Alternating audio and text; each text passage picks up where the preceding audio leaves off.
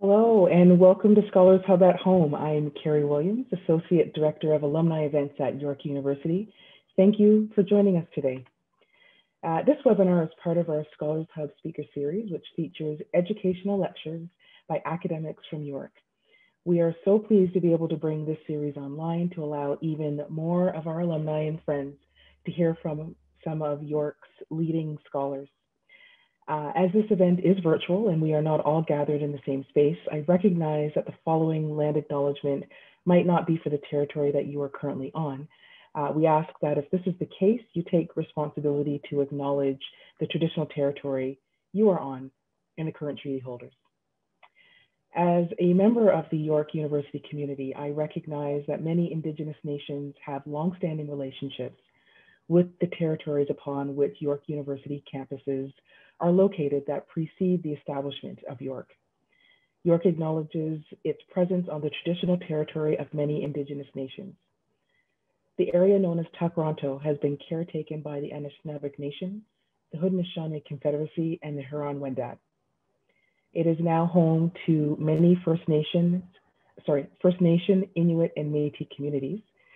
We acknowledge the current treaty holders, the Mississaugas of the Credit First Nation, this territory is subject to the Dish with One Spoon Wampum Belt Covenant, which is an agreement to peaceably care and share for the Great Lakes region. Uh, I am grateful for the opportunity to live and work on this land. I'd like to highlight that although this is the last Scholars Hub of the calendar year of 2020, what a year, uh, we will be back after the holidays with even more relevant and timely content for you. Uh, our first session of 2021 will be on January 21st with a special Thursday edition about the US presidential inauguration. For more information about the Scholars Hub at Home series, as well as our other virtual events, please visit our website at yorku.ca slash alumni and friends or email us at alumni at yorku.ca. And as those of you who have joined us from previous events will know, uh, we always like to get to know who's in our audience. It helps us, it helps our speaker. Um, so today's question is, uh, how often have you attended Scholars Hub since the beginning of September? Uh, the poll should, it's already popped up on your screen, uh, and I'll give everybody a moment to respond. In the virtual space, the more we can connect with you, the better. to get to know people. And I'll just give the, or just wait for the results there.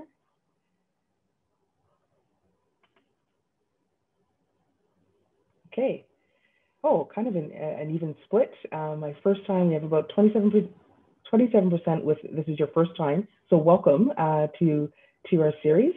28% uh, of you once or twice, 35% of you five times or less, and then uh, oh all this a few people who've come to all the sessions and 10 sessions so listen we are so grateful um, for this opportunity to connect with you. And those of you who've been coming back week after week uh, we've learned a lot from you and we take our cues from you about what you want to hear. So thank you so much for digging that poll for coming week after week. And for those of you who are newer um, welcome. Welcome to the welcome to the to the community.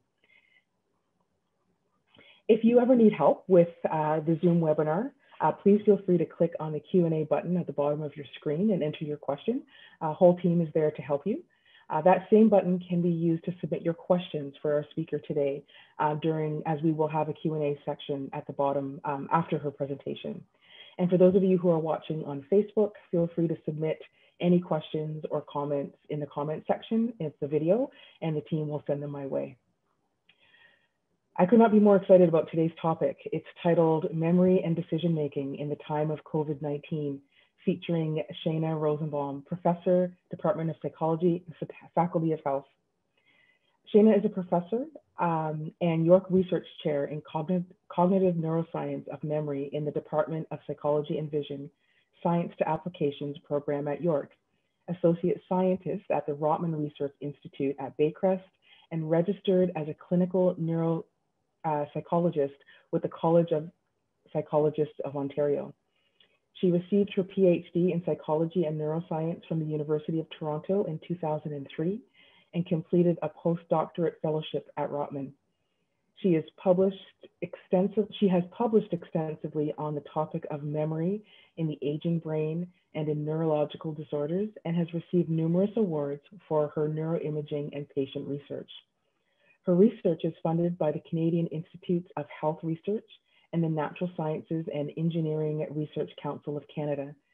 She is an elected member of the Royal Society of Canada College of New Scholars, Artists, and Scientists, and is a past member of the Board of Trustees of the Ontario Science Centre. Welcome, Dr. Rosenbaum. I haven't seen you pop up quite yet. There you are.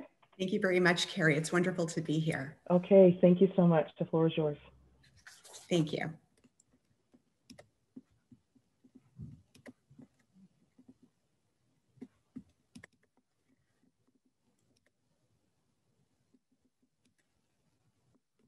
Okay, so it's wonderful to be here. Thank you so much for joining us today.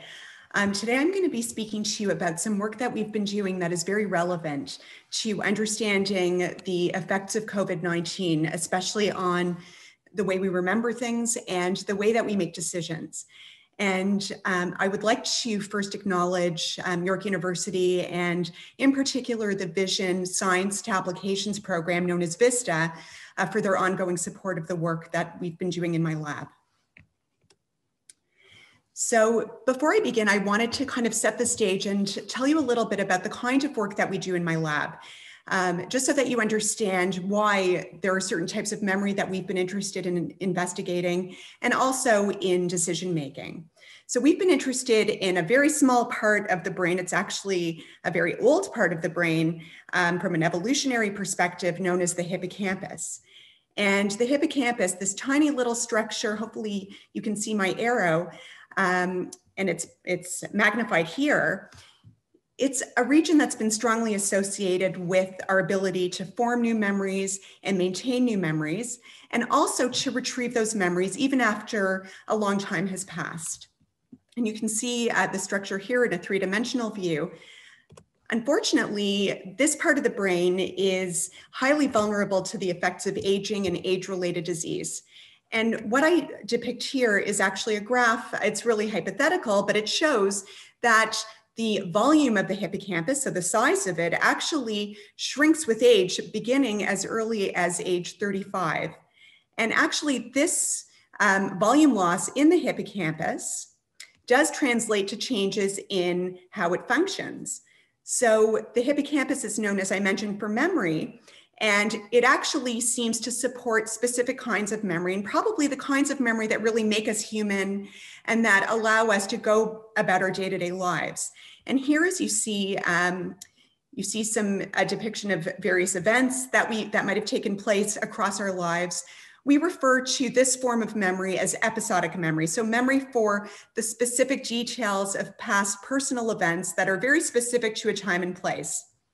Individuals who have damage to the hippocampus, and even older individuals as we age, we tend to lose the details of these forms of memory. We still might remember some of these events, but we might not remember them in as crisp detail as we would if we were younger individuals with Alzheimer's disease, so that's actually more of an extreme, um, that uh, neurodegenerative disease actually targets the hippocampus very early on. And so if you're familiar with people with Alzheimer's disease, you might know that they tend to lose uh, personal memories quite early on in the disease.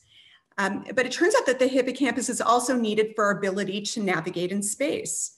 And so people who have disruption to the hippocampus actually have difficulties learning how to navigate in new places. And in my lab, and you'll, you'll see some pictures of my students soon, um, we investigate these questions in patients who have damage to the hippocampus as a result of a variety of neurological conditions, including Alzheimer's disease. And we do so using uh, non-invasive imaging techniques like magnetic resonance imaging, MRI, and here you see a picture of our own MRI at York University in the Sherman building. And we can look at the structure in quite precise detail using MRI and also the function of brain regions based on uh, blood flow. And we can measure um, oxygenated to deoxygenated blood flow and have a sense of parts of the brain that are activated while someone's actually performing a memory task in the scanner. In my lab, we also rely on virtual reality. We try to really recreate naturalistic conditions so that we can really understand better what is impaired and what is spared in our participants. And another method that we use is eye tracking. So it turns out that eye movements provide a bit of a window into the functioning of the hippocampus. And we do tend to use um, methods like this in order to understand how this brain region functions, what it does, how different forms of memory break down if it's disrupted. The reason I mention these types of technologies in particular is because you can imagine that with COVID and provincial restrictions, um, it's been very difficult to conduct the kind of research that we've been doing all along. So many of my students are unable to visit the Sherman Center and go through the hallways and test participants in close quarters because it's simply not allowed. And so it's really important um, to note that, so this is, this is actually, um, these are the students, many of the students in my lab currently and postdoctoral fellows who have run um, many different experiments. You'll hear some of the findings that we've collected uh, recently um, that actually are relevant to COVID. And as an educator, as a professor, I, it's my responsibility to make sure that our students are accommodated, that they're able to conduct the research that's necessary for their degrees. And it's also important that we flexibly adapt our research questions and approaches to answering them to ensure continuation of high, a high quality education. But of course, another responsibility that we have is to share our knowledge that may be relevant to um, the COVID pandemic. And we have to do so while, of course, being careful not to extend our reach. Um, we don't want to try and fit every kind of research question that we have into um, COVID because simply that's not, it's not necessarily relevant. And in fact, it might actually change the course of what we're trying to do and the effectiveness of it. But one question in my lab that is highly relevant is this one. It relates to how our, how COVID actually changes the way that we make decisions and whether we could change those kinds of decisions if we provide some kinds of aids um, based on some of the work that we've done in memory.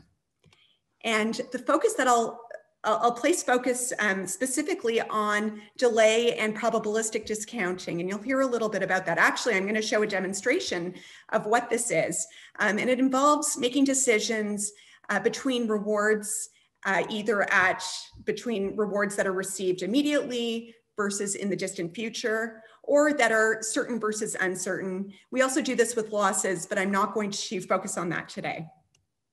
So in the pandemic, we've had to make many sorts of decisions, um, many of which relate to taking protective measures in order to counteract or at least prevent ourselves and other people from becoming ill. And one of these um, protective measures, of course, is social distancing. And so this is what you see here. And you could think of this actually as maybe even an immediate gain, but a very small gain or a small reward that you're able to still be with people, but you know, it's not exactly under the conditions that you would like. But if you actually follow those guidelines, then perhaps in a few months, um, I'm hoping, uh, we'll have the opportunity to have get togethers where we don't need to socially distance, where we can be indoors and we can enjoy each other's company. An example of an immediate loss could be having to wear a face mask. It's not very comfortable. It actually reduces our ability to recognize people that we know, to communicate easily and effectively. But taking this very small immediate loss relative to having to deal with a much larger, perhaps delayed loss is worth it. So um, here I depict somebody who um, actually has COVID and is being sent to hospital. And so, you know, you can imagine that we're always making these kinds of decisions, especially during COVID, dealing with uh, accepting an immediate smaller reward versus a larger later reward. And so I'm just going to ask my colleagues uh, to present a poll to you, and I'm hoping that you'll participate. This is audience engagement. And I'd like you to, we're going to switch now to monetary rewards. And I'd like you to decide which of these two rewards you would prefer to receive $50 now or $100 in a month from now. So please make your selection, and then we'll show you the results.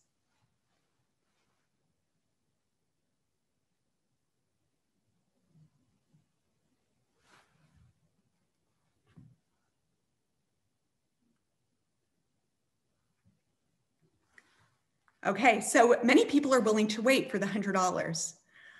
All right, so uh, the next question. So another poll. So now which would you prefer to receive? Would, would you prefer to receive $75 today or $100 in a month from now? And so we'll just take a few moments until people respond.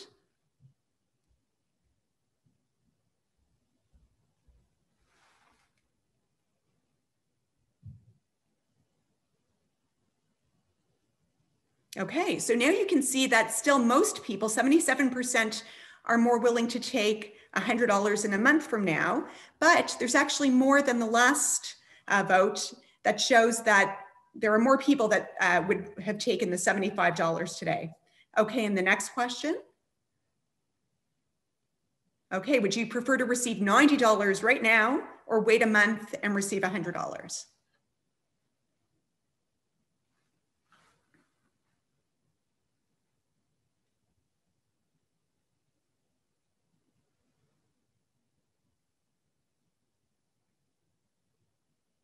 Okay, we're just getting our responses in.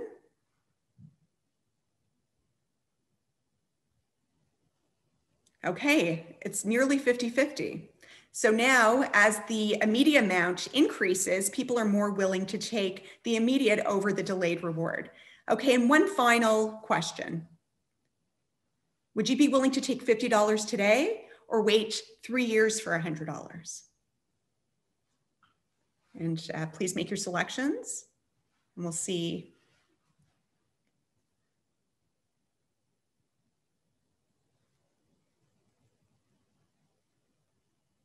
Okay, we're just about ready, I think.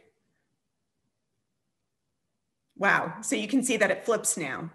And so before we were changing the amount of the immediate reward, this time we changed the number, the amount of time that you had to wait for the future reward. And so people are less willing to wait three years for $100.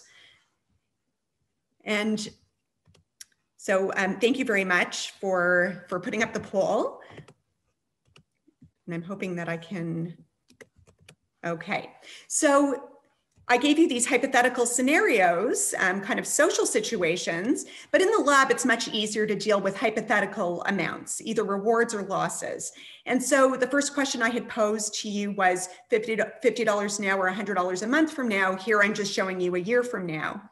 And people typically will be more willing to choose the immediate reward if it's larger than um, if it's larger or if there is more time between receiving the immediate reward and the delayed reward. And so this is very typical human behavior. You actually even see this in non-human species, not with money, of course. Um, so it's a very robust phenomenon. Now, I want to just turn very quickly um, to why we were very interested in studying this in the first place in my lab. So this was before COVID. And I'm showing you a picture of someone, his name is Kent Cochrane. He goes by the initials KC in the literature. And he is a very famous amnesic person who has been documented extensively. Unfortunately, he passed away a few years ago. Um, but here, what you see is um, KC or Kent is describing family photos to his mother. And Kent unfortunately underwent uh, or, or experienced significant damage to his hippocampus in both hemispheres of his brain as a result of a severe closed head injury from a motorcycle accident. So he's a very extreme case. And here he is able to actually tell his mother about people who were present in photographs from long ago. He can even sit, tell his mother where the events took place. But what he can't do is provide any details relating to those events. He actually can't re-experience any of the, those events in memory. It turns out that not only does he have trouble remembering the past, but he also has a lot of trouble imagining future events. And it turns out that many people with hippocampal damage, even individuals with Alzheimer's disease, have trouble imagining a detailed future in which they might participate. There is kind of a stigma now associated with hippocampal damage and amnesia, where people really view these individuals as living in a permanent present. And this is a very famous um, amnesic case, HM, who, uh, uh, so a book, a biography was written by Suzanne Corkin, and she really showcases how HM lived in this permanent present. He was quite content actually, but he couldn't really mentally travel from the past to the future. And we were wondering if people have difficulties remembering the past and imagining the future, would they have difficulties making future regarding decisions, such as the one that you made during the poll? Could they decide between accepting an, an immediate reward versus a delayed, uh, a delayed larger reward? And so just to show you here, these are a number of individuals, KC was included, and I'm just depicting the number of details of future episodes that they were able to generate when we asked them to imagine different events and compared to control participants indicated by the dark, um, the dark bar, uh, the patients, each patient had a lot of difficulty. They were significantly impaired relative to the controls in generating details of future events.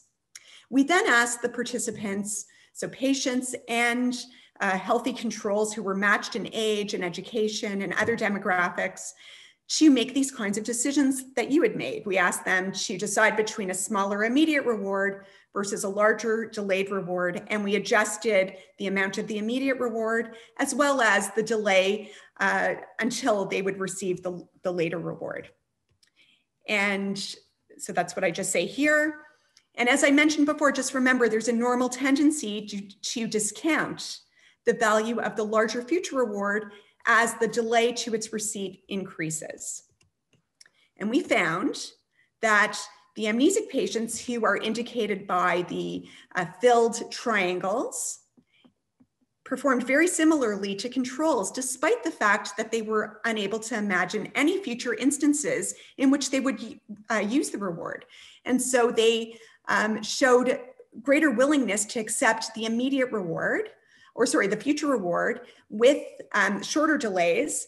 But as the amount of the immediate reward increased or the delay increased, they were less likely to choose that uh, um, future reward. So they were less likely to wait. And this held true if the future reward was $100 or $2,000, it didn't seem to matter. So this is very close to how controls perform. It turns out that people can actually adjust their decision making if you give them cues to think about specific future instances. And so we took this a step further in the amnesic patients, and we asked them to imagine a specific event that we knew actually might take place in the future for them. And while imagining that event, to make decisions between accepting an immediate versus a future reward. So it was the same kind of paradigm. The only difference was that they imagined a specific event that might take place in their lifetime. And we actually found that control participants, so these are healthy older adults, they showed a typical um, discounting effect where they discounted future rewards normally across time. But when we gave them the specific cues to imagine events that might take place in the future, they were more mindful of the future and they then accepted the future reward more willingly. And so their discounting became shallower, as you can see by the, um, by the, the solid line here um, compared to the dotted line, which was the, the discounting that they performed without the cues. Amnesic patients, unfortunately, probably not surprisingly, they they have a lot of difficulty imagining future events. And even if we gave them some details to help them imagine, they still did not show any modulation in their discounting performance. There's no significant difference between their performance when they were given the standard condition with no cues as indicated by the dotted lines. And remember there indicate the amnesic patients are indicated by the filled triangles. And when they were given cues, so that's indicated by the solid line. So they showed no advantage when they were given the cues. We, so uh, that, that work was actually conducted by a former graduate student. Her name is Donna Kwan.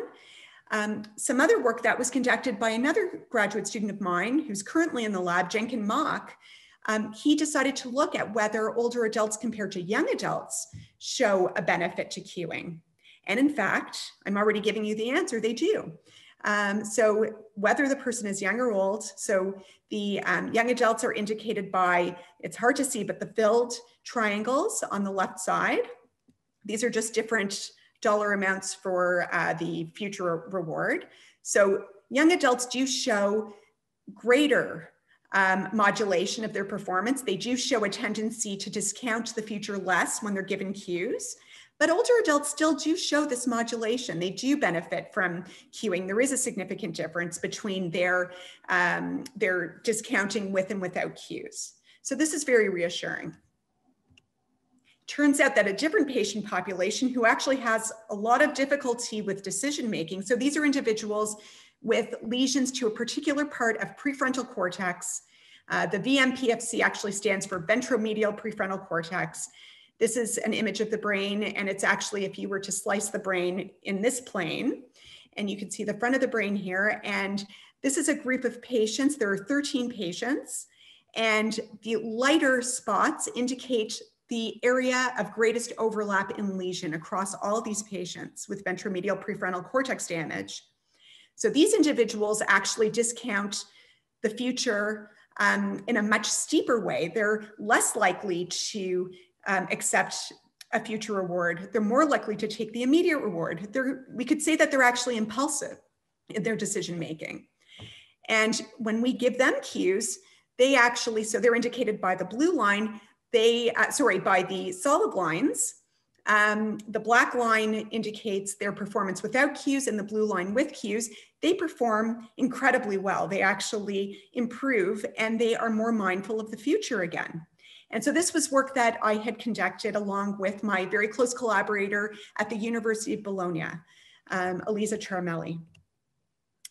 So where does this all take us? So it turns out, as I mentioned, that other than people with hippocampal damage and very severe forms of amnesia, most people discount uh, the future normally in a certain way where they're less willing to take a future amount if the immediate amount is larger and if there is a greater delay until you receive the future amount. And it also turns out that most people actually benefit from cues. So if you were if you were to t- tell someone to really think deeply about something that might happen in the future, they make better decisions. How does this um, play into understanding COVID? So we actually were very fortunate. Um, the Canadian government, and some of you might have heard of the Canadian Institutes of Health Research, they had a rapid call um, to respond to some of the effects of COVID. So, a call for grant applications to deal with certain aspects of COVID, from pharmaceutical interventions to other forms of treatment to understanding how we remember and make decisions. And so, they funded a project.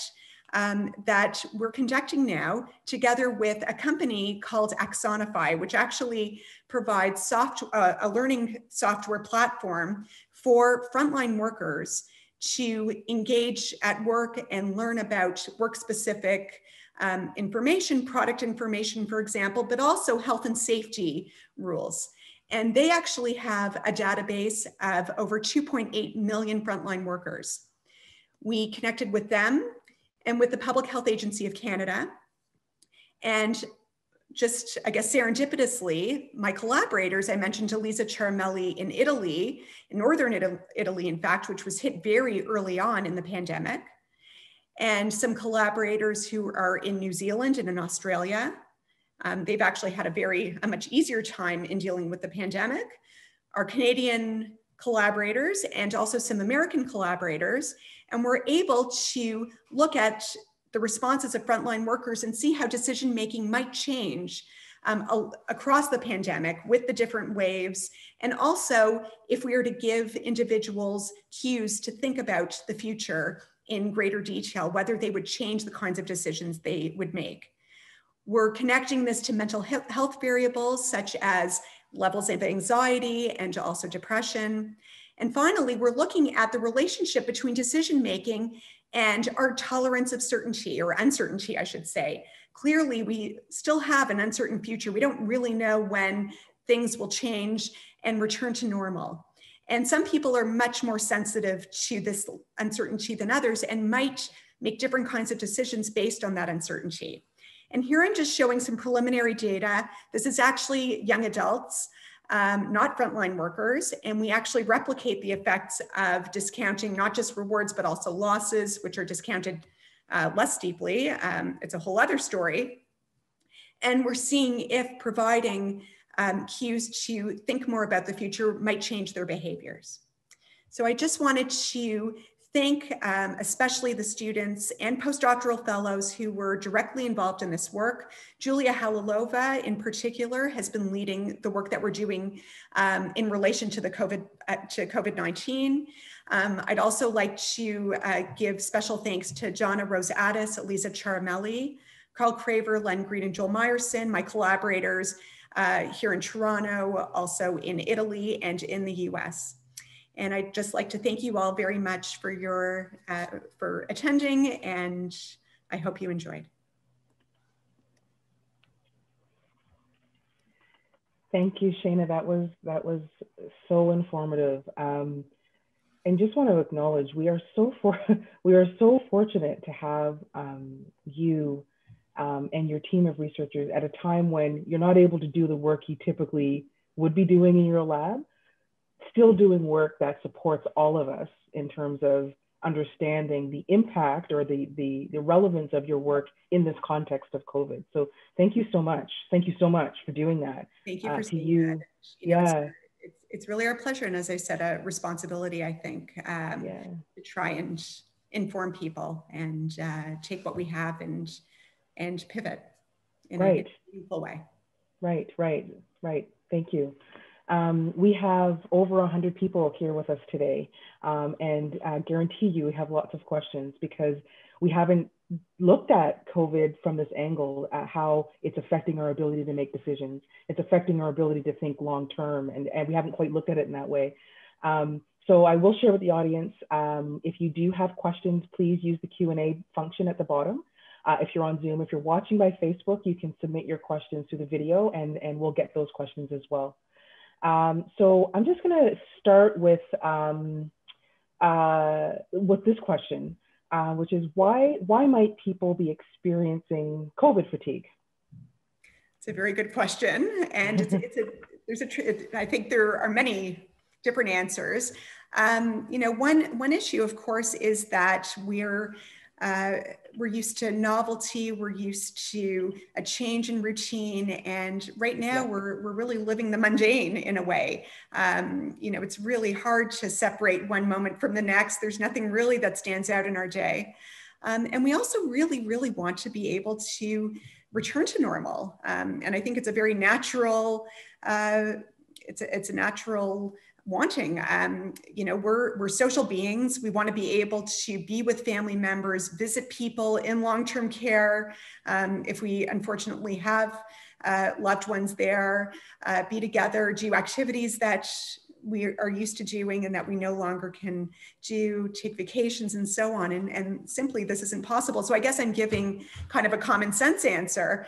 Um, but I do believe that uh, the research will back, back this up. And uh, I think the, the big challenge is how do we break out of this COVID fatigue, especially after nine months of dealing with the same thing over and over again. Yeah, yeah, and like sort of your your research suggests, it, we don't have a clear long-term benefit. like, I mean, we know that at some point there'll be a vaccine, you know, but it, it's not. It still doesn't feel real. It still doesn't feel tangible. So as we're making decisions to this supposed point where where there will be a vaccine and we'll all be able to get it, it's still we're still stressed. We're still stressed in this space. Yeah, absolutely.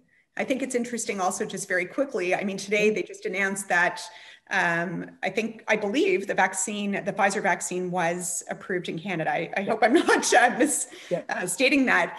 Um, and so, you know, if we were to test people in the moment today, their responses to the kinds of decisions I described before might be very different than yesterday. Than yesterday, um, yeah. So there is hope, and I don't, I don't think we have a bleak future. I think we have a very positive future. Things are moving in the right direction, but I really do think we need to, um, you know, take charge and make sure that we stay safe and just keep going. It's very. Yeah. yeah. Thank you for that. Thank you for that. Um, would you say are there other implications of your research for understanding and dealing with, with COVID-19? Um, we actually have some other research that's being done um, that relates to how to deal with COVID-19. I mean, one piece actually that's being uh, led by my collaborator, Donna Addis, relates to how are we gonna remember this time? So is it gonna just seem like a blur? I mean, again, there's really no, there's nothing that's um, defining, or I shouldn't say nothing, but you know, most of our days seem very similar, especially if you're working from home and you know you're not really taking breaks and going outside.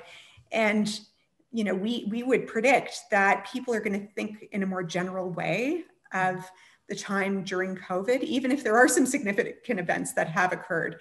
And so, you know, one important thing, and I think this also helps uh, deal with mental health issues, is to make sure that you take time to change your routine. I mean, if you're if it means um, picnicking indoors or with your family, or you know, taking a walk, um, just really breaking up the day, not having you know work flow into the nighttime. It's it's critical, and I think it will help us remember moments in a different way too. Great, thank you for that. Um, another question from our audience, Sarah. Um, she asks, Given the emphasis on mindfulness-based stress reduction techniques, especially in the past six months, how do you think that plays into um, memory and decision making? It's a tricky question because I've just been promoting something very different. I'm saying, think about the future.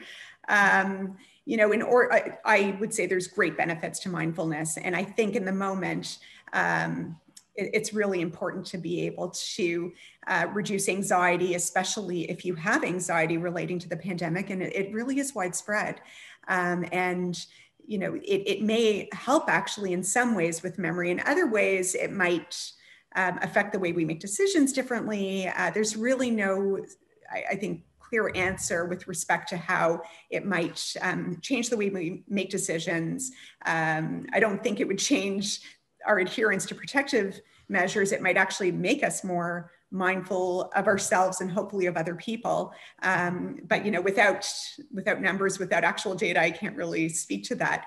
Um, you know, but we do know that there are tremendous benefits to mental health. So on a day-to-day basis, I would highly encourage mindfulness practices if you, especially if you're doing so already. Thank you for that. You. Uh, you know, one of the reasons I was so interested in, in, in what you had to say today is, is how um, your how memory and decision making shows up in older adults, and it's obviously if, extreme as Alzheimer's, but you sort of start to inch towards that um, as you age. Um, and we know in this context, COVID has had such a major impact on older adults. Um, is there any positive? Is there any positive side to that story? Yeah, you know, it's actually interesting, especially in healthy older adults. There, uh, there was a study that just came out in Psychological Science in a journal um, that shows that uh, there's something known as the positivity bias in older adults. That as we get older, one positive aspect is actually that we tend to remember positive events, positive information better than negative information and even neutral information. Um, there's some debate about it, but it looks like that continues even in COVID. Um, there were many, uh, there was a large sample that was tested of older adults, and it looks like they're retaining this positivity bias despite everything that's going on. Um, you know, that might not apply to individuals who are in long-term care, for instance, but um, I think, you know, the average person who is an older adult seems to be showing um, some positivity uh, bias based on these data. Right. So I would say that that's a positive. For sure. And, and does that actually, um, remembering the positive events, does that actually turn around the, or turn, you know, sort of reverse some of the aging effects or no? Is it just um, a- it's that's also a tricky question to answer. Uh, there, it just seems as though older adults tend to show this bias, whether it there, there is some suggestion that if you can make people think in a more positive way and um, you know reduce stress, it does have positive effects on um, our brain function, uh, as does, by the way, you know, we said mindfulness, exercise, physical activity actually does have proven effects on our brains functioning, even the, especially the hippocampus, actually, um, which is the seat uh, or thought of as a seat of memory. Um, so, so yes, I think that you know there is some complex interaction, uh, but there are health benefits. Yeah. Okay. Thank you. Um, another question from uh, Richard from the audience. He asks, what are the implications of this research for government policy, for example, encouraging mask wearing or more topically encourage people to get vaccines once they're actually available?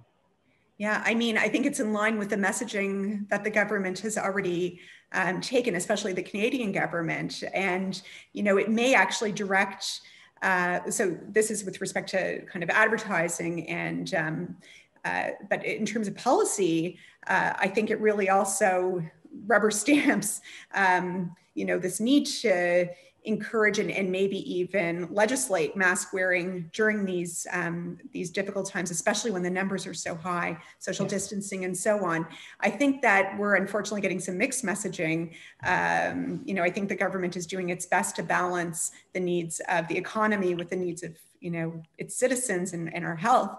Uh, but you know, I think we really have to take seriously the call to you know not bubble with other people right now, to um, socially distance, to you know to really just be with your family members indoors at this time.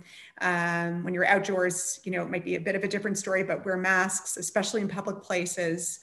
Um, and, you know, if they, if they could state in a more uh, strict way in policy um, some of these uh, regulations that would be, I think, highly effective.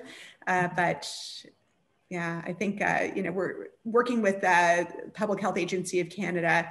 Um, we do feed our data to them, and we actually try to model it together with data relating to how the pan- the course of the pandemic. Um, and we're really hopeful that they'll integrate some of what we have to say into policy as, as we collect more data.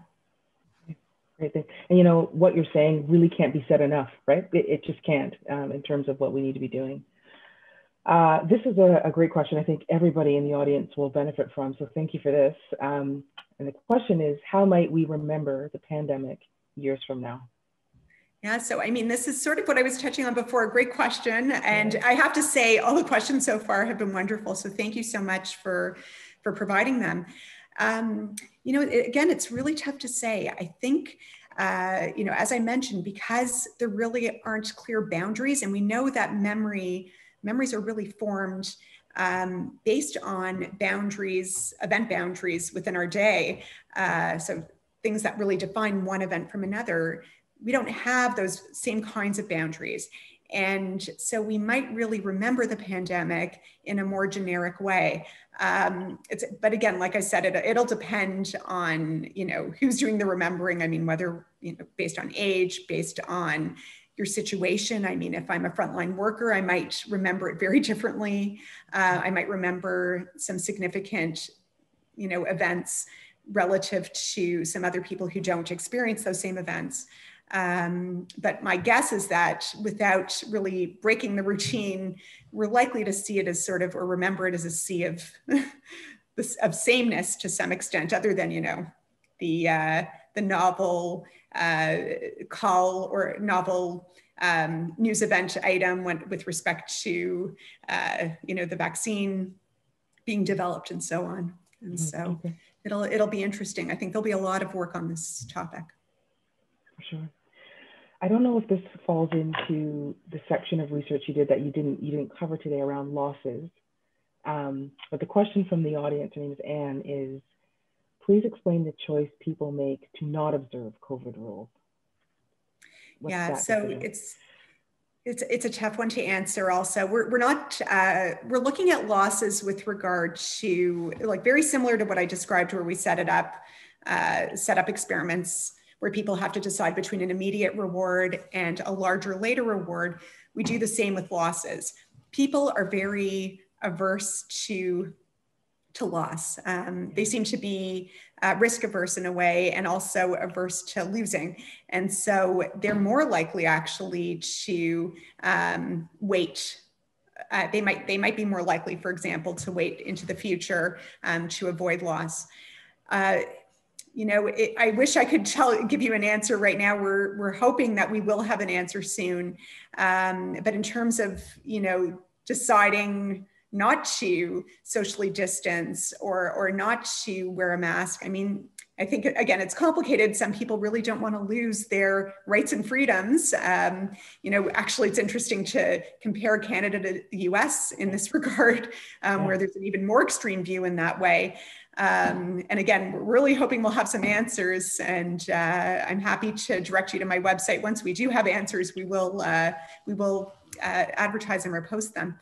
Um, but, you know, I think some individuals are just really, you know, it's based on personality, it's based on the ability to empathize with other people.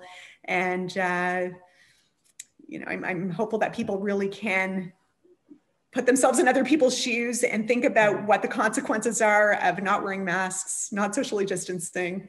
Um. The loss to others, right? Thinking about that, yeah. That's it. That's it. It's a pers- a small personal gain, but a great yeah. loss for other people. Yeah, yeah. Um, is your web? Can you share your URL now? Because we can note that and share it with the audience if you if you'd like. Yes, and just so that uh, I'll do so on the chat. Perfect. yeah. Um, and just to let you know that it will. It's it's being updated. So that's fine. That's fine. Yeah, only if you're comfortable. Like you can share it with us later if you'd like. Or okay, great. Yeah. Great. And, uh, and we, we don't have uh, the information up yet on our COVID uh, studies, but we hope to have share that soon. Wonderful. I have a very personal question um, from somebody in the audience um, who shares, um, uh, I'm losing, I am losing memory. And is there a way that I can participate in your research? So I'm, I'm, sorry that you're experiencing memory loss. Um, I'm very happy to, you're welcome to send me an email. I'll actually include my email address as oh, well. I, I, do take emails. I do um, enjoy engaging with the public.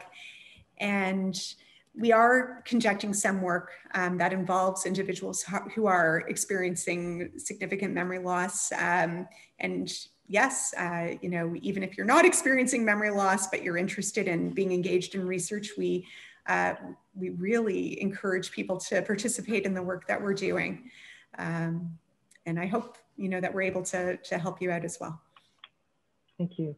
Again, the gift of of our community, our professors. You're not only are you skilled researcher, you're also very generous and kind. So thank you for sharing that. That that's great. Um, another question for you. Um, what, in your opinion, measures can we take to promote healthy cognitive aging? Very interested in this. Yeah, I mean, very similar measures to what we would encourage even before uh, the pandemic. So, as I mentioned, physical exercise, uh, so aerobic actually exercise has been shown to change the function of the hippocampus and actually other parts of the brain. Um, so, keeping the body healthy, I mean, the brain is part of the body. And so that's key. A healthy diet, of course, is very important. Reducing stress. So, mindfulness is an excellent way of doing so. Um, but if you have other ways of reducing stress, by all means, um, you should practice them. And really just staying cognitively active. Um, you know, people do say that crossword puzzles help. Um, there's some debate about whether uh, some of the online kinds of uh, cognitive training programs work. Um, it certainly wouldn't hurt. Uh, so really, and I would also say being social. Now that's a tricky one during COVID, right? Right, right. You know, my guess, and, and I'm sure again, there, there would be studies on this that are going to come out, um, even social engagement over Zoom and yeah. being part of groups, even if it's like a book club online um, or driveway visits. These things are so important uh, to our cognitive health. And uh, I would strongly, strongly emphasize uh, taking these kinds of measures to to promote um, brain and cognitive health. Yeah, yeah, and you know it, it's it's one of those try to balance the you know, people talk about Zoom fatigue. I don't want to be in another Zoom meeting. Try to balance that between how you are doing emotionally and and the need to connect with people. It's it's so unreal how much we've underestimated the value of just connecting with people um, and how that affects us. Um, thank you so much. I also plug that we also, for with uh, in our alumni engagement team, we do have a book club as well. So we've had um, we've done two books so far and have a great following. So if you're interested, uh, audience, please feel free to to check that out. It's on our website as well. Um, Shayna, thank you so much. This has been incredible um, and so such great information, so generous with your information, and again, your whole team uh, for taking on this work where you're limited in what you can do, but taking on the work to kind of help us all through this. So thank you so much for your time today and for everything that you do. Thank you so much. Thank you for having me, and thanks to the audience for being so engaged and uh, really excellent questions. Yeah, yeah, they're great. We're very fortunate with our audience. They're they're they're great. Um, so I'm just going to wrap up, but before we do, we always like to take the time to get one last question into the audience. Um, of course, we are very um, knee deep into planning for 2021. Always need and want your feedback. Uh, the question is, what would you like to see as part of the Scholars Hub at Home experience in 2021? And there's sort of three choices there. Uh, please feel free to tell us what you think. Um, as we approach the end of our final session, if you can believe it, our final session of 2021, uh, sorry, of 2020, before we get to 2021, what a year we've had. Um, I'd personally like to thank um, the community for the privilege to connect with you week after week in this new format. Uh, speaking of memories, this series will be definitely one of mine and one of my team's, our whole team's sort of key memory from, from the pandemic year is creating this series and figuring out how to connect with you. Uh, we do consider ourselves so fortunate to have been able to try something new um, and share knowledge and stay connected with you throughout a very uncertain and confusing time. Uh, as professionals, not only have we gained skills, but we've just grown as people. Um, and we have you and our audience and our professors like Shayna and her team to thank for that. We genuinely appreciate your feedback and need your feedback, your interest in the work, uh, and your questions. And we hope that it has been as positive and impactful for you as it has been on us. Uh, so thank you as we close the year. Thank you so much for the opportunity to, to stay connected with you every week. Since April, we've had over 25 of these Scholars Hub at Home webinars with almost 100 attendees each time. Uh, we've analyzed COVID-19 from so many perspectives. Um, and then we also did the reflection and action work against anti-Black racism. We've covered a broad range of thought-provoking research and showcasing some of York's best minds like Shayna today, um, thanks to what you've told us you want to hear. Uh, we'd also like to acknowledge our partners, Aurora Public Library and Markham Public Library. Through their collaboration and support, we've been able to make an even greater impact and, create, and reach a larger audience. Uh, please feel free to share today's talk and all of our Scholars Hub at Home events of 2020 uh, with your friends. It will be posted on our York Alumni YouTube channel. Uh, you may also join our LinkedIn group or follow us on Facebook by searching York University Alumni and follow us on Instagram uh, and Twitter at YorkU alumni. Uh, suggestions and feedbacks, as you well know, um, are always needed and welcome. We listen to everything. Uh, they can be sent to us through any of those social channels or directly at alumni at yorku.ca. So just a reminder, this is our last session of 2020. Uh, we will be back in 2021 on Thursday, January 21st with a special Scholars Hub edition about the US presidential election. Uh, we figured uh, those of you who are interested in the inauguration will be watching the proceedings on Wednesday at our typical time. So we're holding our Scholars Hub on Thursday. Then we'll be back again on Wednesday, January 27th with Dr. Raphael and the importance of the social determinants of health. Uh, to learn more about these events or even our book club, as uh, previously mentioned, please visit our website, yorku.ca slash alumni and friends, and click on events. Thank you so much. Have a wonderful holiday season, and we will see you in the new year.